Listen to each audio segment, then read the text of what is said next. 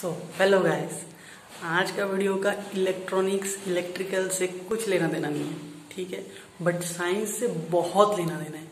तो अगर आपको साइंस में इंटरेस्ट है वीडियो के एंड तक देखिए। आप गारंटी करता आप कुछ नया सीखिएगा, ठीक है?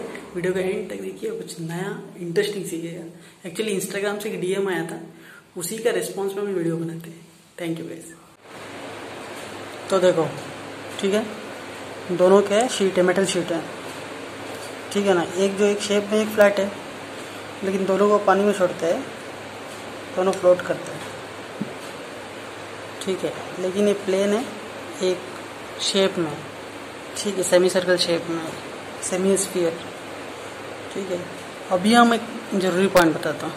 ठीक है, जो मोस्ट पॉइंट है, ये फ्लोट करता है सरफेस टेंशन से, ये फ्लोट करता है बायोन्सी से।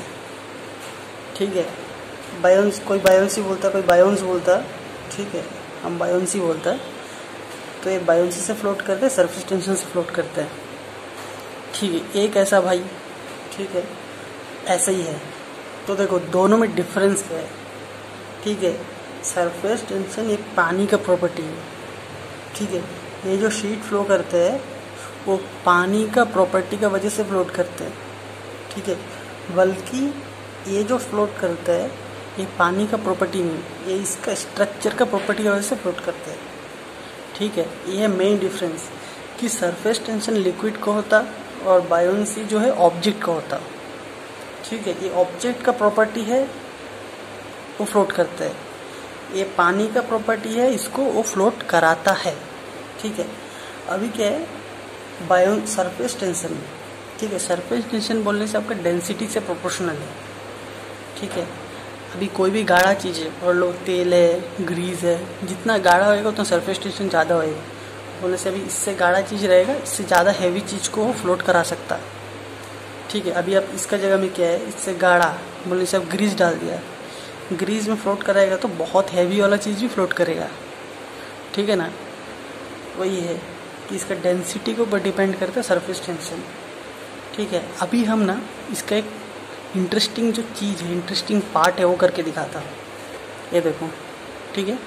इसमें देखो, दोनों का साइज़ भी सेम है, खाली हम बड़ा कर दिया। ठीक है? पहले जब ये दोनों था, दोनों फ्लोट करता था, ठीक है? जब साइज़ बड़ा कर दिया, ठीक है? प्लेन वाला फ्लोट नहीं करते, ये अंदर है, ठीक है? हम दिखाता, ये देखो।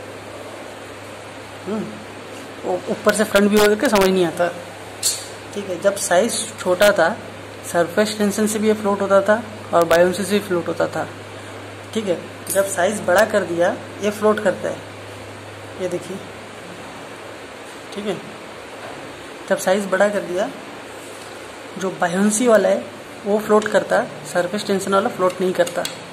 ठीक है? मतलब यही है कि जब हैवी हो जाता ना तो पानी का डेंसिटी उतना नहीं है कि उसको फ्लोट कराए।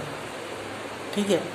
जब हैवी हो जाता है पानी का डेंसिटी उतना नहीं है कि ऑब्जेक्ट को फ्लोट कराए ये हैवी हो गया, ठीक है, बड़ा हो गया। जब छोटा था तो पानी का डेंसिटी से फ्लोट करना फ्लोट करता था। जब हैवी हो गया, पानी का बस वो कैपेसिटी नहीं है इसको फ्लोट कराने का। लेकिन, जब हम लोग ऑब्जेक्ट को बड़ा करते, तब बायोन्सी तो ऑब्जेक्ट का है, ठीक है? तो इसका बायोन्सी ज़्यादा हो जाता, बड़ा हो गया वेट भी बड़ा हो गया बायोन्सी भी ज़्यादा हो गया, क्योंकि सरफेस एरिया ज़्यादा है, ठीक है?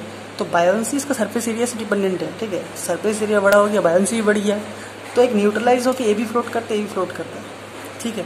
तो मेन जो डिफरेंस है, ये एक्चुअली ना इंस्टाग्राम में एक लड़का पूछा था कि सरफेस टेंशन और बायोन्सी में डिफरेंस क्या भैया, ठीक है? तो उसको एक्सप्लेन करने के लिए हम बनाया, ठीक है? तो सबको हम सब अपलोड कर देगा, सबको दिखेगा। तो ये कि बायोन्सी और सरफेस टेंशन में यही डिफरेंस है कि बायोन्सी जो है, वो ऑब्जेक्ट का प्रॉपर्टी है बायोन्सी ठीक है? बल्कि सरफेस टेंशन पानी का प्रॉपर्टी है, ठीक है? अभी आप जो मकड़ी है चिंटी है, जो भी छोटा ऑब्जेक्ट है, पानी में जो ऊपर से फ्लोट करता है ये सब जो है सरफेस टेंशन की वजह से फ्लोट करता है ठीक है? आप बोलने से ना मोर एग्जांपल दे सकता इवन साइड व्यू से दे रहे हैं फिर आप कभी भी कुछ गिलास को फिल करता तो ऊपर एक हल्का एक कर्व बनता, ठीक है? वो कर्व है सरफेस टेंशन सरफेस टेंशन से क्या है? लिक्विड हमेशा एक स्पीयर से शेप लेने का ये टेंड करता। ठीक है? The tendency of liquid to form spherical shape ये सरफेस टेंशन बोल सकते।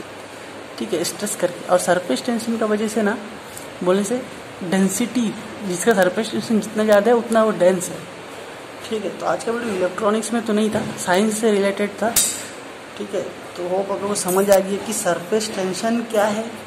ये है सरफेस टेंशन ये है बायोन्सी ये दोनों को रिलेट नहीं करना। कोई भी ऑब्जेक्ट फ्लोट करता है, इसका मतलब ये नहीं है कि वो आर्क्यूमिडिक आर्क्यूमिडिक के प्रिंसिपल से फ्लो करता है, ठीक है ना? हाँ दोनों अलग है, उसको मिक्स नहीं करना है। और वीडियो अच्छा लगा है तो लाइक करिए सब्सक्राइब करिए शेयर करिए। मिलते हैं नया वीडियो में, तब तक ले सिर्फ़ रहिए बाय